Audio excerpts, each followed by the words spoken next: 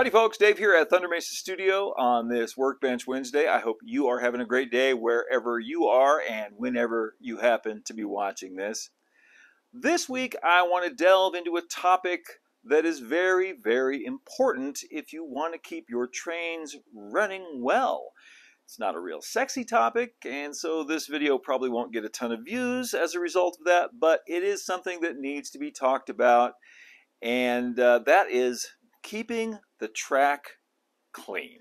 If your trains get their power from the rails, like they do here on the Thunder Mesa layout, obviously it's very important to keep those rails clean so that they will continue to conduct electricity well.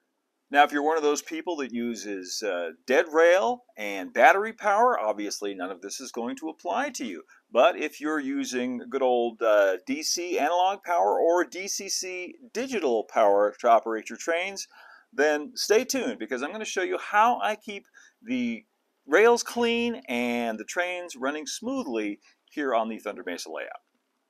Of course, there are a lot of different opinions out there about the best ways to clean your track and keep it clean. In fact, if you were to ask 10 different model railroaders, you might get 10 totally different answers. Uh, but all I can really show you today is, is, what works for me. What I have found through trial and error is the most effective method for cleaning the track and, and keeping it uh, relatively clean. And I will let you all in on a little secret. For years, I was actually cleaning my track wrong. I was uh, following the advice that I read in a magazine or found somewhere online and uh, using isopropyl alcohol to clean my track.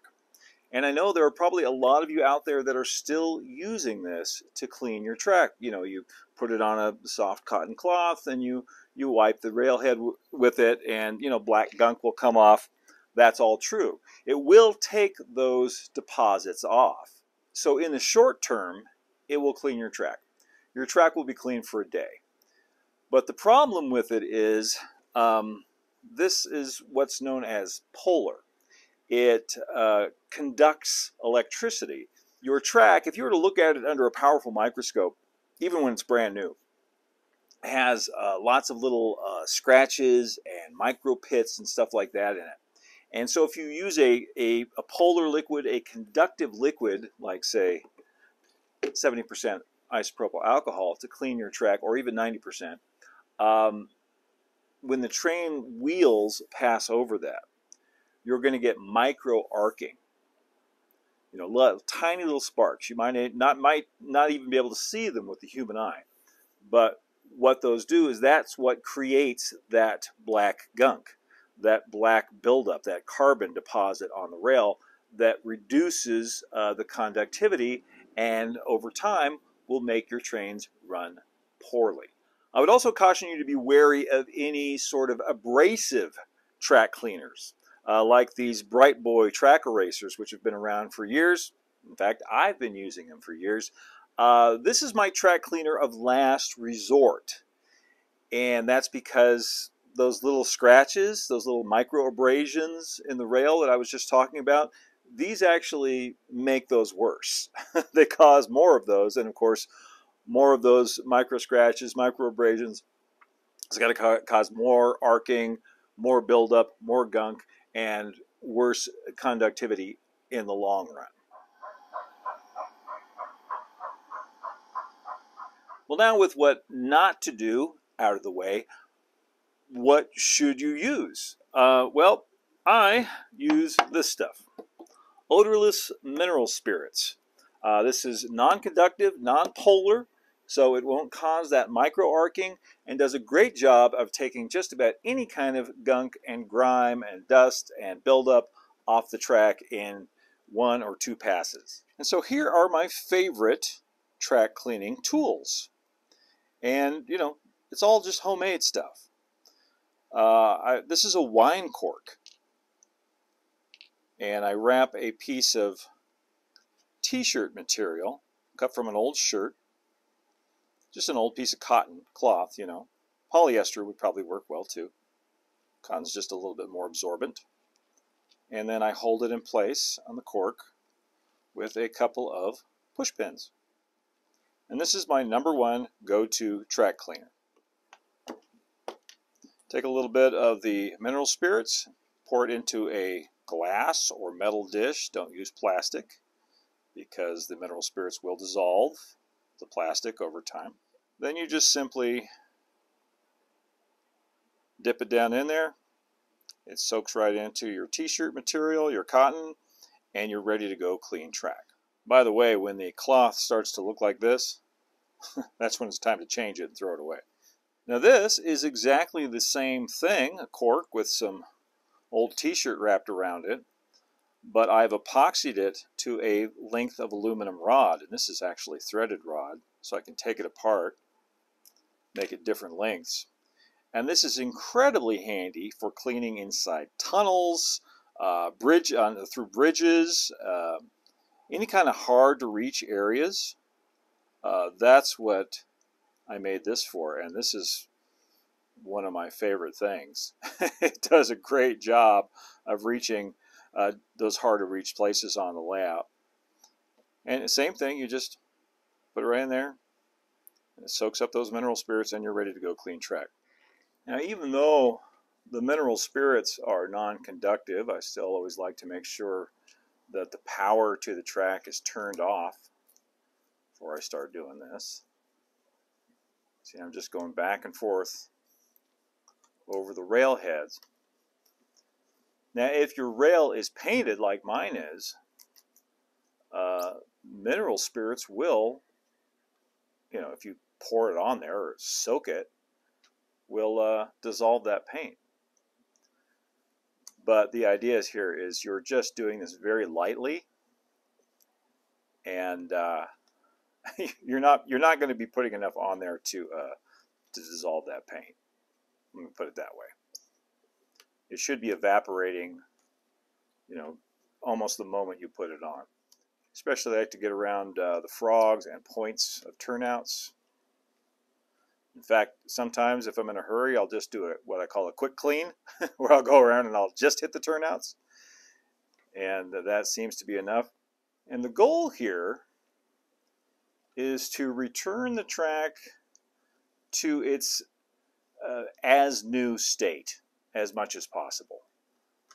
Just as it was when you got it out of the box, because that's when it was the most conductive.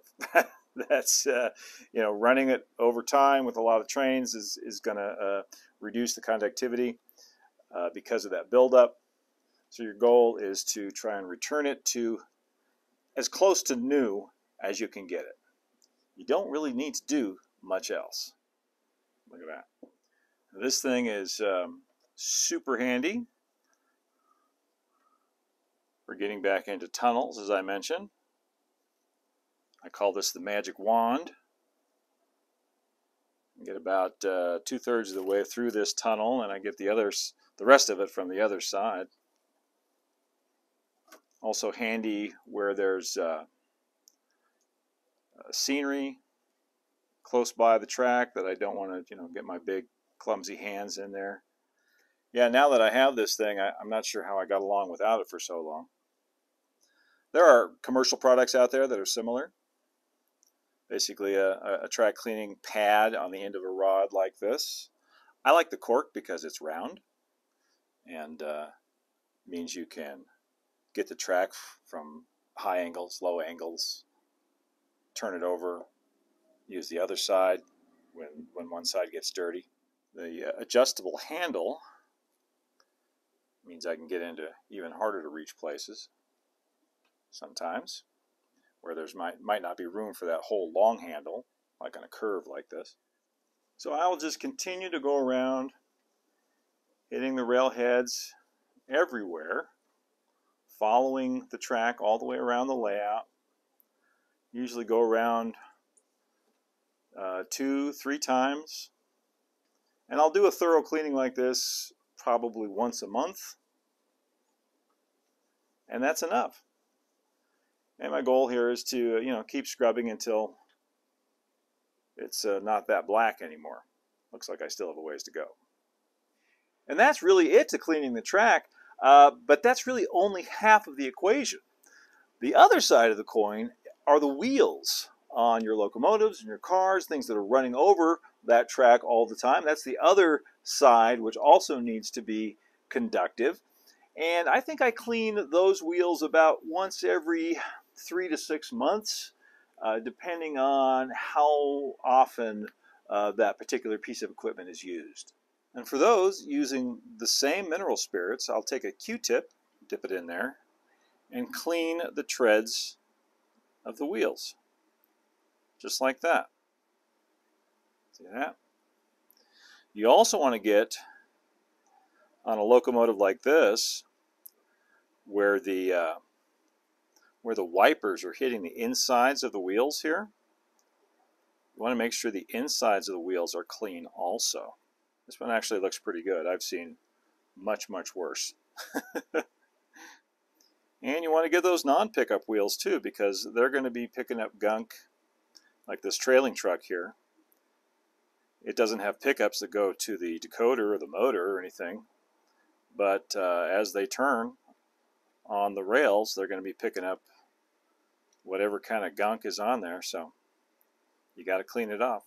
This stuff right here is called No-Ox ID A-Special, and it's a, a it is a special uh, conductive wax, basically. That's what it looks like. It looks like earwax, for lack of a better description. And you'll hear a lot of uh, people talk about this stuff uh, and applying it to the rails after you clean it. You clean uh, all of your rails and all of your wheels on every single piece of equipment. Then take a tiny little dab on the end of your finger, like I'm doing here, and then you go over all of the rails, all of the track that you have, and you let the trains run over it. You run all of your locomotives over it. And then the next day you come back and you wipe off any residue that there might be. And it does work really well uh, for keeping your track clean, for keeping that buildup from happening. What it does, as I understand it, it goes in and it fills those little micro pits and scratches that I was talking about. And rather than causing micro arcing, it's a, it's a conductive wax that fills those that prevents that. So uh, it seems to work really, really well. At one time, I had the entire layout coated with this stuff. But here's my honest uh, appraisal. Um, for, from someone who runs the layout in kind of display mode uh, at least once a month. All of that cleaning and all of that running of the trains and the all of the steps that you have to go through with this um, make it, in my opinion, a little bit more trouble than it's worth. And if you go back and clean a section of track again, say you have a trouble spot, you do you have to go through the whole thing again. You have to reapply it. I it's just easier for me to clean the track and the wheels, uh, or clean the track once a month, clean the wheels every three to six months. But you know, if you uh, if you want to give this stuff a try, I'll, if I can find it, uh, I'll put a link in the description down below, and you can check it out. A lot of people swear by it, and it does work. It's just um, kind of a hassle, frankly. I, I, I just don't find cleaning to be that that onerous, so I don't I don't mind doing it once a month or so.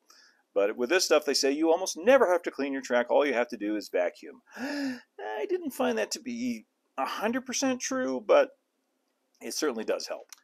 One thing I do find very handy and use all the time are these artist graphite sticks. And I just get them from the art supply store, get them online.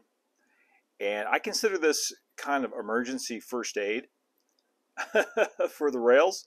Uh, if there's a trouble spot, say in a turnout, uh, you know points aren't conducting or you know for whatever reason you just take it just lightly do that. That's all you got to do.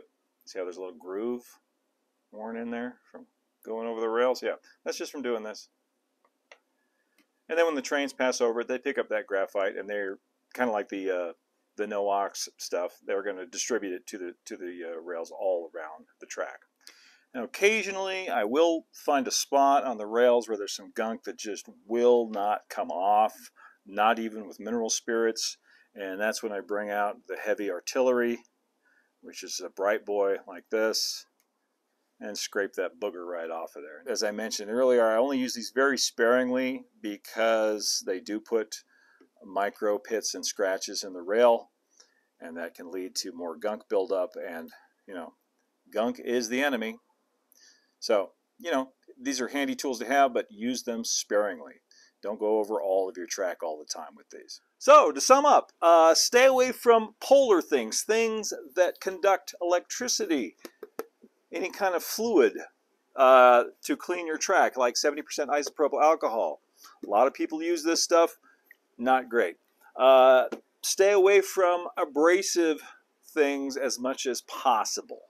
Uh, if you need to use them, if you have to use them, you know, okay, but you know that's the reason I don't use a, a track cleaning car because uh, you know there's there's two kinds. There's the kind with the roller, which has uh, which you put maybe say mineral spirits on, and there's the kind with an abrasive pad. In my experience, I, I I'm not a big fan of either one of those, but your mileage may vary. You know, if I left anybody's favorite track cleaning technique out, please put it down in the comments below and we can talk about it there. But that is my track cleaning and Maintenance 101. Thank you all so much for watching today. I hope you enjoyed the video and got something good out of it. If you did, like, subscribe, share, hit that notification bell to see more from Thunder Mesa Studio. And you can also follow us over on Instagram at thunder.mesa and see what's new on the Thunder Mesa Studio website at thundermesa.studio. And if you really enjoy what we're doing here at the channel and wish to show your support, you can do what these nice folks did and go over to patreon.com slash Thunder Mesa and show your support there. Until next time, keep your wheels clean, keep your track clean, keep moving forward. Adios for now.